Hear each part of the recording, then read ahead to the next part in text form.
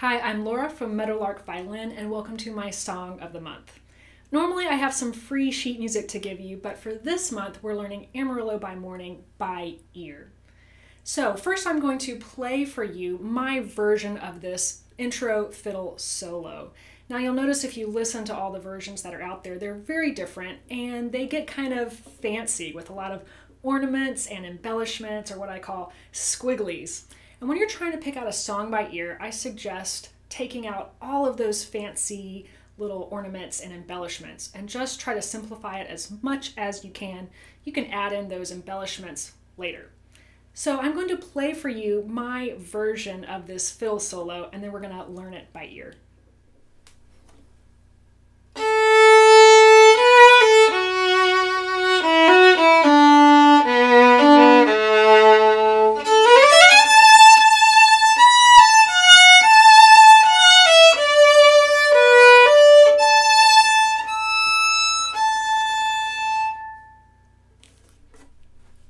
Let's talk through it. When I'm trying to figure out a song by ear, I like to just hold my violin down here in guitar position, and this way I can brace my thumb against the top of the fingerboard and pick with my fingers down here. This is a lot more forgiving than using a bow when you're trying to learn songs by ear. So the first thing that you want to do is kind of see how the song is built.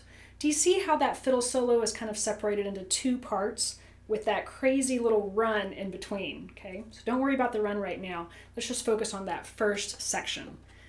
Your first job is to figure out what note it starts on. And the way that you do that is you just pitch match. So you listen to the note and then you match it with your voice. Da. I know I plucked it, so you'd sing it first with the recording, da, and then try to find it on your violin. Da. And that's how you figure out what your first note is. So now that we figured out that our first note is an A, we just want to kind of keep singing along note by note, and I use my hand to help me understand if it's going up or down. So it starts on an A, and it goes da da dum. Do you hear how it goes up and then back down? So it's A, B, A. That's our first part. Then what does it do after that? It goes down.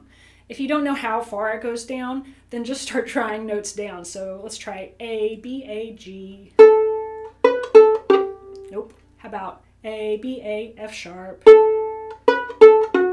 There we go. That's it. Okay. Then what does it do?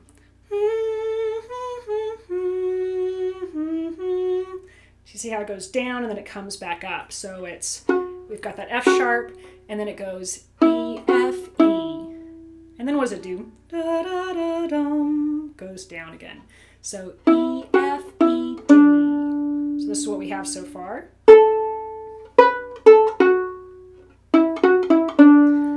Dum. I can tell that's really low, so let's just try start going down notes. So I've got the open D as my last note. Let's try D to C. Nope.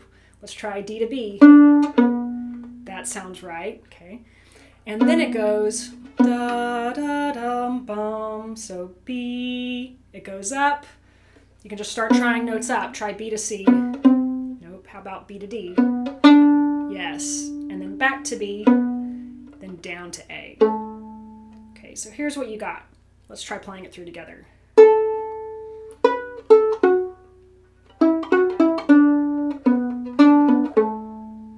Then you've got the crazy run. And then you've got the second part. Now, the second part sounds really similar to the first part, right? And it basically is almost the exact same notes, just up an octave. There's just a few little changes in there.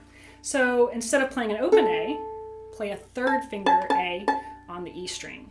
And now it's A, B, A, F sharp. Here's where it changes a little bit. It goes F sharp, and then it really quickly kind of goes up to an A, like kind of like a grace note and then back down to the F sharp. And then after the F sharp, it really quickly goes from the open E down to the D. Those are all, those are kind of grace notes. So it goes A, B, A, F, A, F, E, D. That's all happens really quick, that F, A, F, E, D, okay?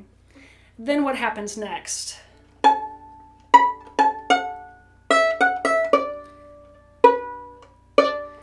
down to B, first finger, then back up to D. And then here it goes higher, right?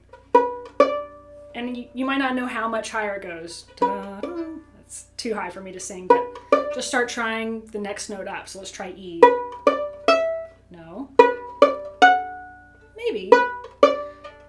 Not G. Uh, I think that's what it is in most of the versions. So it goes B, D, A.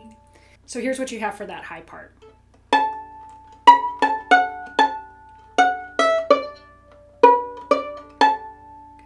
But there's something fancy going on there at the very end. And what that is, is a harmonic. And a harmonic is when you're just lightly touching your finger to the string in a certain place. And I've got some other videos on harmonics, so I'll include that below. But you just play like this. You've got the A. Scoot your hand up here until it hits the bout and reach your pinky out on the E string. You might have to fish around it first to find it okay? But that's the first harmonic. And then just rotate your elbow, play the exact same place on the A string, and that's the last harmonic there. So it goes like this.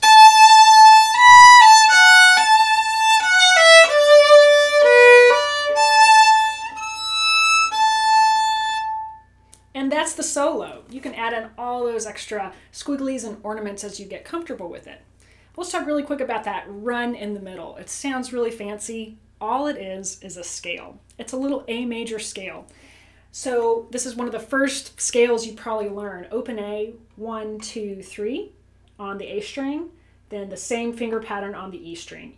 Open E, F sharp, G sharp, A, and you're there. So don't even think about notes, just I slur it all together because it happens pretty fast. Open one, two, three, open one, two, three. My E always whistles there, so give it a little bit more weight. And there you go. A great way to practice fast things like that is to do it without your bow, just to work on the finger action. And once you have that, you have the basic fiddle part for Amarillo by Morning. You can try picking out the rest of the song or start adding in any of those embellishments or ornaments. If you enjoyed this lesson, I encourage you to check out one of my courses how to learn songs by ear, where I really go through and teach you all the different tips and tricks to picking out songs for yourself. So that's part of my online membership, and I'll put a link to that below. But while you're here, you can check out this video or this video and have fun practicing.